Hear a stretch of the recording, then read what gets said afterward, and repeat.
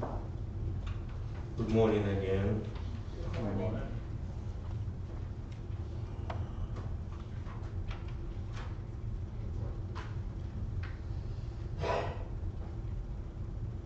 This morning I would like to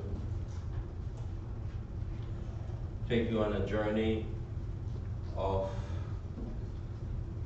honesty, uh,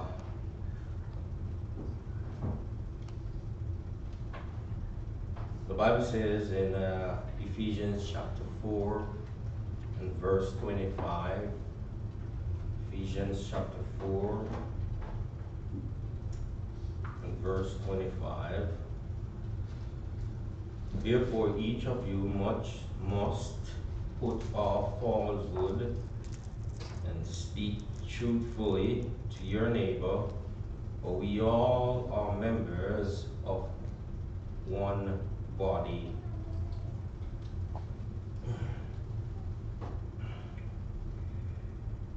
My topic for this morning is when an honest man meets the justifier. When an honest man meets the justifier. And honesty uh, doesn't need much definition. Uh,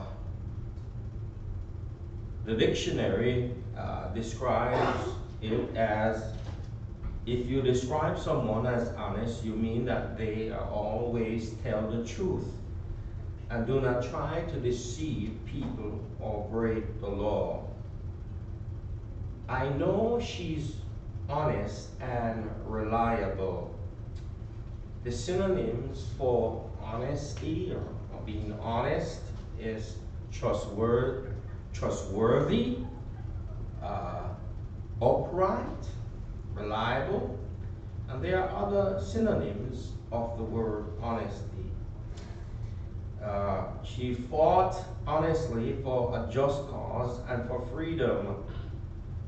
Uh, honesty, you in the judiciary system, most of the time in a, a court case, this is what you know they want to reveal or the defendant or the prosecutor want to reveal the honesty in the case. Uh, and so, honesty, I don't want to say it is a rare commodity, but in our society, we see where people are fighting for this in the place of business and how people function. Everyone wants everybody to deal with them in an honest way. It even chuckles me, a person who is not so upright wants honesty when it confronts him, when he is doing a transaction. He doesn't want the other person to uh, deal with him in a dishonest way. Isn't it alarming that a person who is not so upright would want this form of attribute, would want this form of uh, character to be dealing with? Honesty um, can be elusive at times. So the fact of the matter is, wherever we engage as people of God and even people in general, there is some form of uh, conflict. And so people want honesty. If it is in a community, if it is in your family, among your children, every one of us, wives and husbands, they want people, they want each other to be honest, to be transparent, and to be uh, open. And so I want to, there are some Bible characters I want you, these are from eyewitnesses account on, on the matter um, of people meeting, an honest man meeting the justifier, and how this man was so honest and his response to Jesus Christ The Bible says in Matthew chapter 8 and verse 5 through to 13, Matthew 8, 5 to 13, the Bible said, When Jesus had entered Capernaum, a centurion came to him asking for help. Lord, he said, My servant lies at home paralyzed, suffering terribly. And Jesus said to him, Shall I come and heal him? The centurion replied, Lord, I do not deserve to have you come under my roof, but just say the word, and my servant will be healed. For I myself am a man under authority, with soldiers under me. I tell this one, go, and he goes, and that one, come, and come, and he comes. I say to my servant, do this, and he does it. When Jesus heard this, he was amazed, and said to those following him, Truly, I tell you, I have not found anyone in Israel with such great faith. I say to you that many will come from the east and the west and will take their places at the feast with Abraham, Isaac, and Jacob in the kingdom of heaven. But the subjects of the kingdom will be thrown outside into darkness, where there will be weeping and gnashing of teeth. Now, let me say, um, um, help us to, uh, I want to look on what is happening behind the text and why Jesus had to say what he said and the encounter that he had with the centurion. Now, in Luke chapter 7, you will see a different account. It's not a contradiction. You will see where uh, Luke said they, they were messengers there were messengers who was the centurion sent to Jesus. But Matthew, what Matthew is doing, is doing a synopsis. It's, it's, it's an abbreviation. It, it is the, to the same person who is having the conversation with Jesus Christ. Though the centurion is using servants, he's, he's, he's, he's the one that is having the conversation with whom? With Jesus Christ. So when this honest man this man who is a Roman official, this man who is not a Jew, but he is a Gentile, this man who understands the, the, the, the, his condition before the Almighty God. You see, he was well learned because a, a, a, a Gentile was not permitted to go into the house of a Jew. If he went and entered the house of a Jew, who was who is a Jew here? Jesus Christ. If he entered the house of a Jew, he would become what? Unclean. And so here he's saying, listen, I am not worthy to what? To come before you. But just say what you have to say, and this man will be uh, cleansed. Now, he points to the Gentiles, I'm sorry, he points to the Jews who were so honest when Jesus arrived on the scene. And he, what Jesus is doing, he's doing a comparison. And he's saying, look at this man who has no affiliation with the Almighty God. Look at this man who understands the law and understands the ramification of going up into a Jew house and becoming an unclean person, being honest and trustworthy. He would rather have faith in God for God to heal him than breaking the what? The law. Isn't this a beautiful picture of how honest this, gem, this man is? Now let me say this. I'm going to expand on this a little bit to, for us to understand, for us to understand how humble this centurion man is. Now you need to understand that the Roman officials, they were the ones who were ruling the nation of Israel. They were the ones who were what? In charge. This Roman official could have marched up to Jesus Christ and even ordering to allow his servant to be what? To say, to be saved. he set aside arrogance. He set aside his limited power because he seems to recognize that Jesus' power is more than his own power. He, he, had, he was an official in the Roman army. He detailed he detailed how his day-to-day running worked. He was saying, Lord Jesus, you have to understand my status. He explained everything to him. But this centurion man lay down, lay down his own power. And he was subjected to the power of Jesus Christ in humility. To the fact that he humbled himself and said, God, I, Jesus Christ, I am being honest. I am not what? Worthy to come before you. But say what the word. And I believe and trust that this man, my servant, he will be what? he will be healed. When an honest man meets the justifier. You see, honesty has no clothing. Honesty does not cover up anything. Honesty is transparent. Honesty will lead you to salvation and allow the justifier to save your soul. Honesty goes a far way.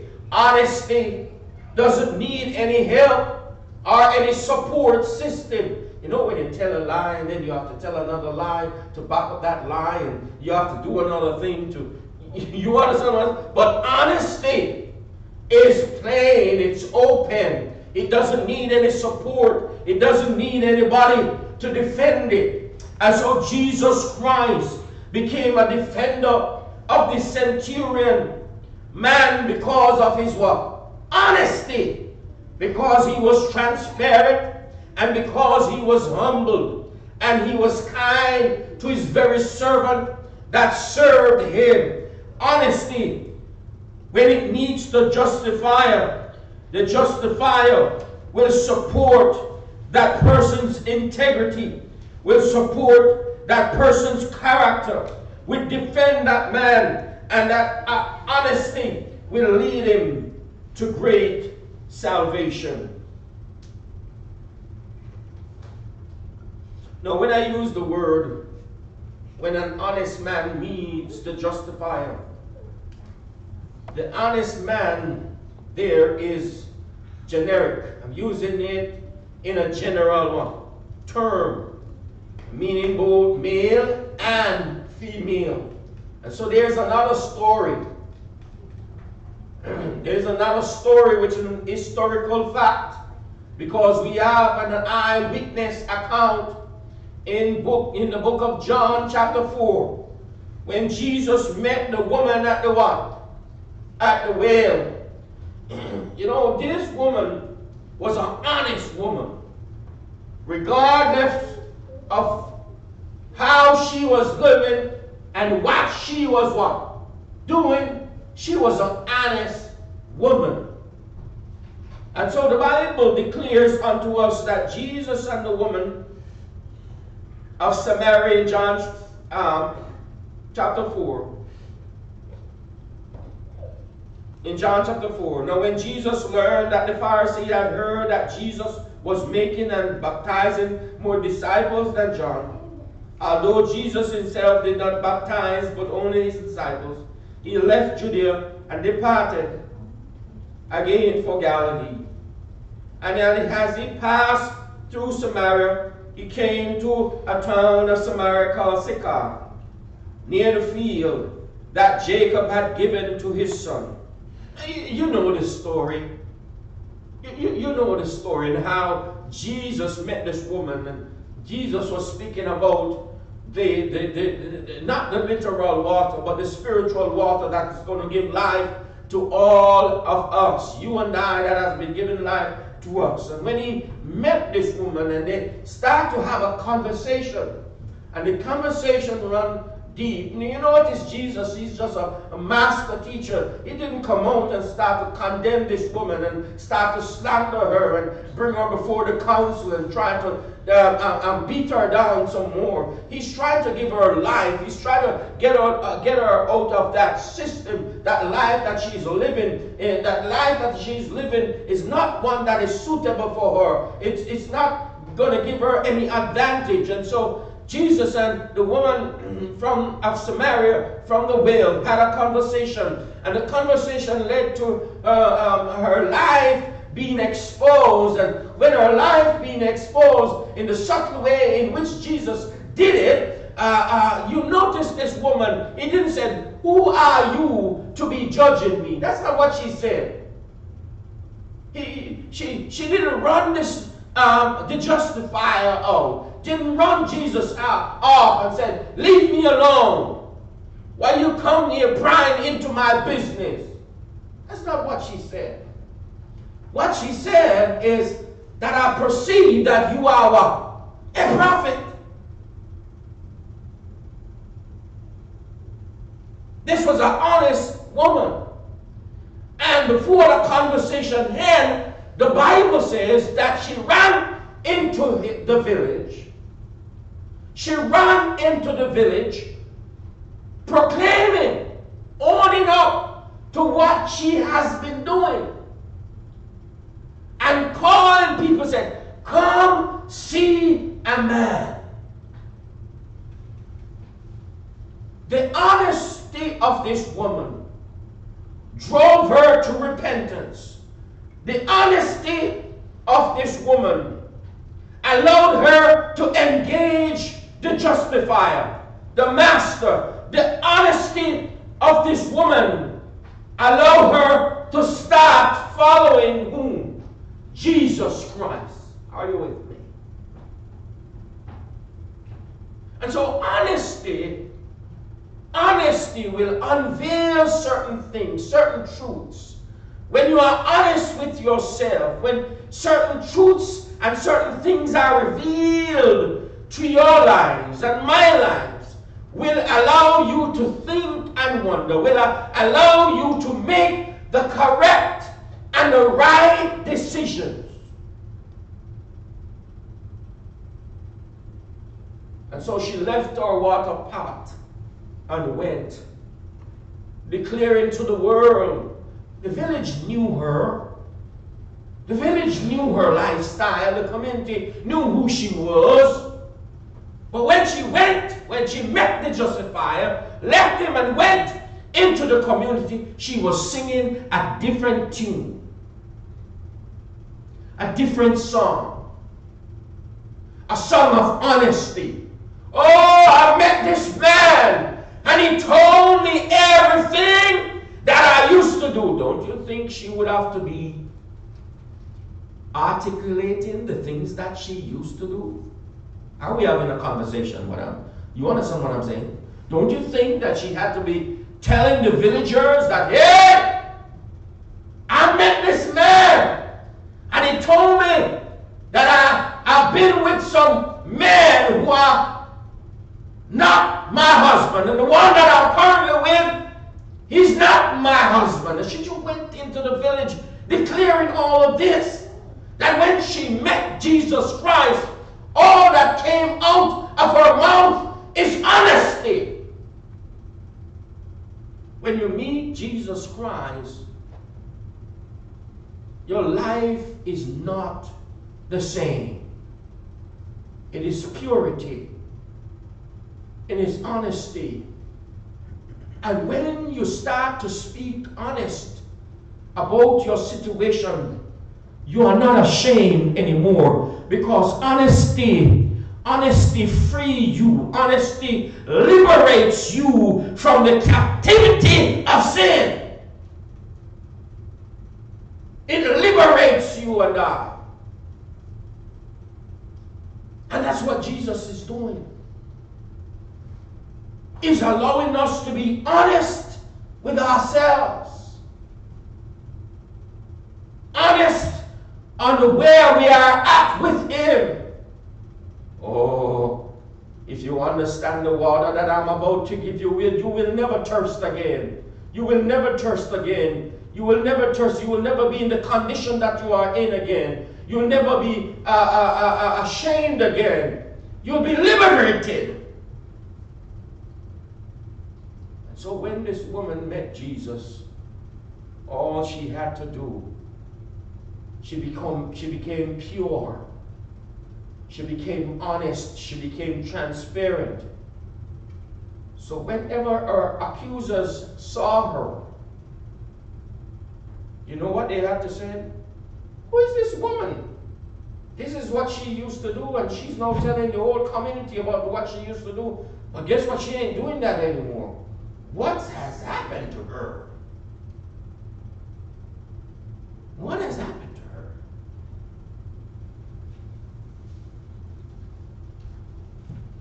And so the last thing is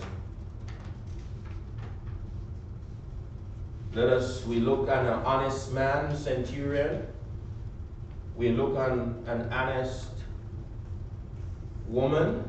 Let us look at an honest crowd.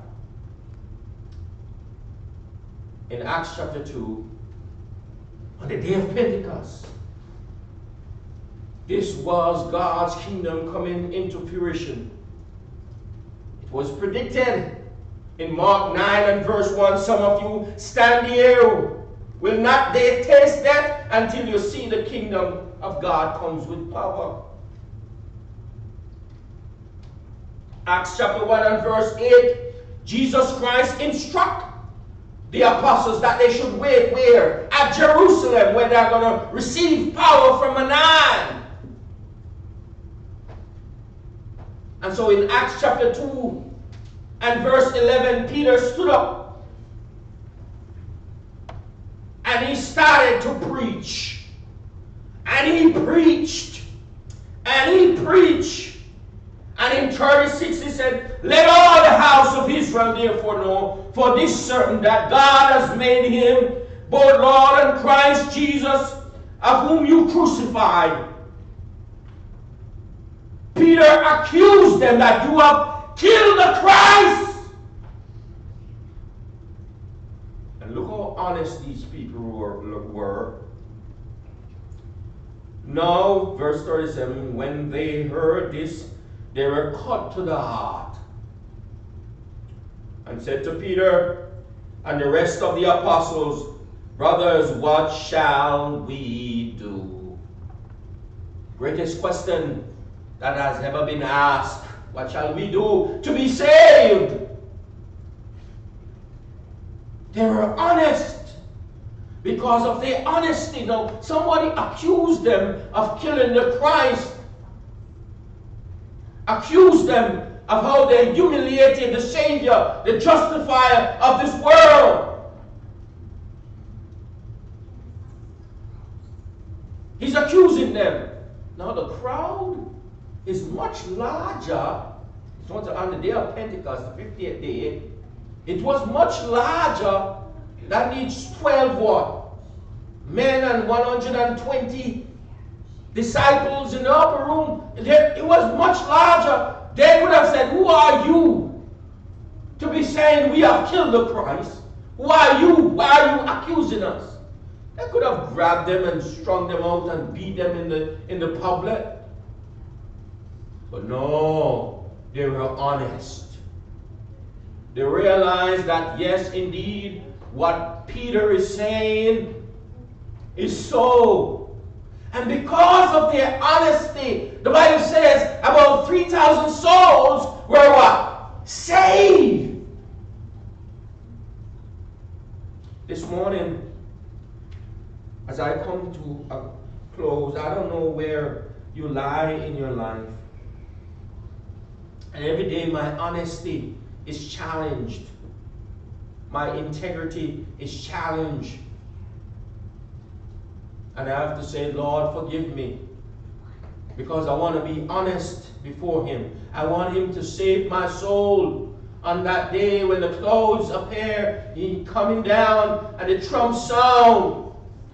I want to hear Jesus Christ say, Well done, good and faithful servant.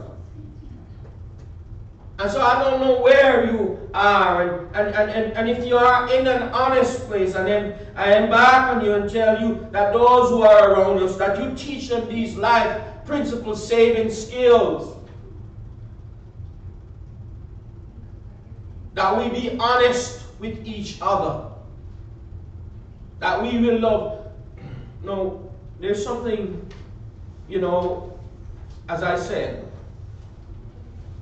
Christianity is a way of life. It is not an event. Church is not an organization, it's an organism built and bought by the blood of Jesus Christ. And you need to understand that every one of us are connected by His Holy Spirit. That we need to treat every single person favorably. For the Bible said, do good unto all men in Galatians, especially to the household of faith. And sometimes I see where we as Christians have failed God miserably because we are not honest. We treat Christianity as if it is an organization. It's a business. No, it's not a business. It's a spiritual entity. And we must function on the premise of love, agape, which is unconditional. And no matter what every, anybody has done, and they may have made some mistakes, and they have made many mistakes, and we will continue to do this, but we must function in the setting of how God Almighty functioned. How did Jesus Christ dealt with his apostles and disciples? It is okay that we leave, but we must leave in love. It is okay if anybody leave that we pray for them. If they leave on a, on a, on a notion of anger, we pray that, that that anger will become honesty and purity. But we must, those who remain here, operate on the premise of God's unconditional love. How many times should we forgive, Lord, in one day? 70 times. Seven. Is there, was Jesus saying there is a total and how you must forgive? No! My second chance ran out a long time ago. It ran out. I'm on another chance. I'm on another chance. And we must operate by faith, church. We must operate, and in our lives, in our own lives, we must trust God and we must pray for each other. Because this world is a tough world, and Satan is on our heels like a roaring lion. He wants to devour us, and we must be honest with this. That we do not fight against flesh and blood, but against principalities and powers in high places if you have not met Jesus, I hope that you are honest enough this morning. The Bible said in Mark 16 and verse 16, He that believeth and is baptized shall be saved, he that believeth not shall be damned. How honest are you that when you meet the justifier, you will allow the justifier to reveal your honesty, to reveal transparency, transparency, to reveal salvation unto you that you reveal and repent of your sins so that God can walk in your life and you'll be a shining, honest light to the world. If you have responded to the invitation, feel free to respond as we stand and sing Song of.